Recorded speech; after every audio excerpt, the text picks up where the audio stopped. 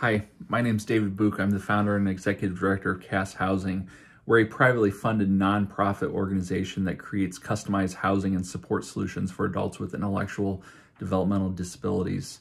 CASS was started uh, to proactively and directly address the question of what's going to happen to my child when I can no longer take care of them or when I pass away to understand why the mission of CASS is important, it's good to, to know the landscape of, of kind of what's going on. So in 2012, the state of Indiana changed how they do funding for um, people with, with disabilities. So now people wait about 8 to 16 months before they can receive a smaller block grant of, funding to pay for earlier therapies, help in the home, kind of respite opportunities uh, for families. Um, a larger block grant of funding is needed uh, for that individual to move into a 24-7 residential setting. So the question is, is how do you move from the smaller funding to the larger funding? Both parents need to turn 80 years old or pass away. Um, so if you have a child with autism, Down syndrome, cerebral palsy, traumatic brain injury, if you'd adopt a child with fetal alcohol syndrome, you need to turn 80 years old or die before the, for the vast majority of families, before the state funded system would kick in.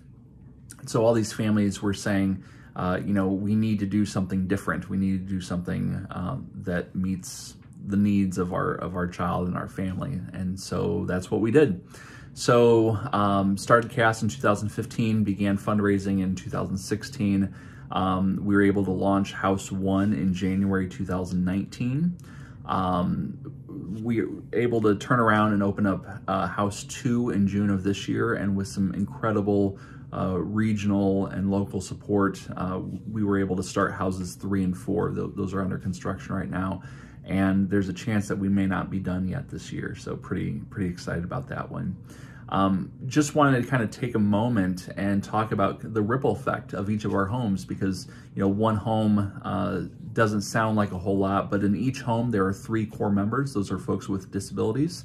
Um, and then a steward that lives on site um, as a safe neighbor, a safe point of contact.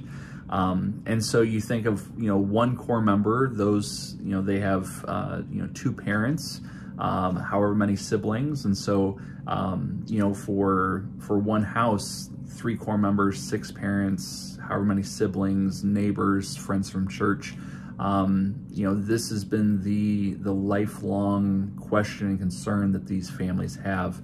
Um, and so as we look at houses four and beyond, uh, that, that ripple effect and that network starts to get pretty big uh, pretty fast. So why soup? Uh, so as we look at 2021, we really want to focus on quality of life of our core members. Uh, we want to begin some additional programming and all that takes time and energy and money.